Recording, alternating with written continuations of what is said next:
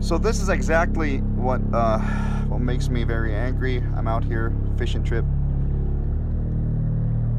and this is what I find.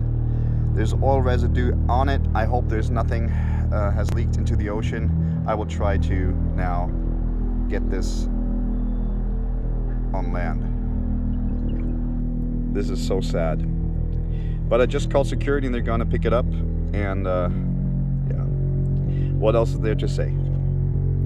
Save the oceans, it's just a drop in the bucket. This one's a big one, but sure is.